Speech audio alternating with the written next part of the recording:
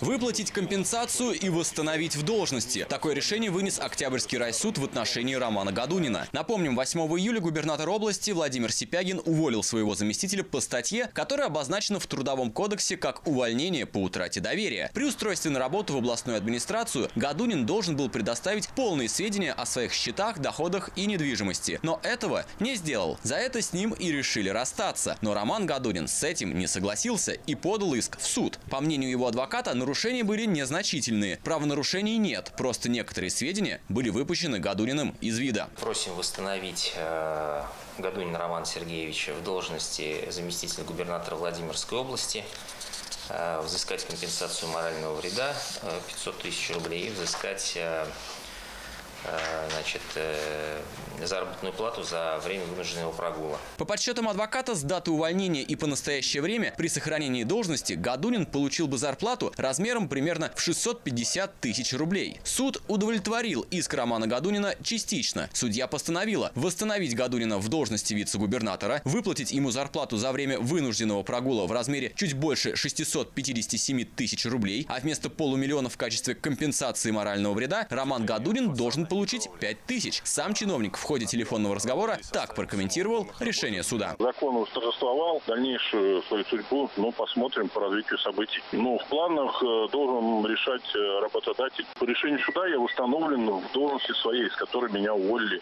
на данный момент, как суд, незаконно. Поэтому я выхожу на свою должность, выполнять обязанности, которые я исполнял. На работу я выхожу в понедельник. Напомним, это не первое неудачное увольнение Сипягинской администрации. Ранее они увольняли через суд Александра Романенко, и у них также ничего не получилось. С директором дорожного департамента пришлось расстаться полюбовно, то есть по соглашению сторон.